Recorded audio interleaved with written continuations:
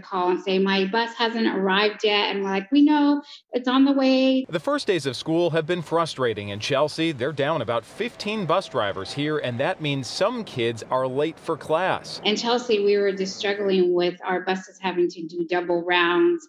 And so this will help um, alleviate some of that so that way our kids are getting to school on time. Now the National Guard will help in Chelsea along with Lawrence, Lowell and Lynn driving transport vans to get students to school. We have vehicles.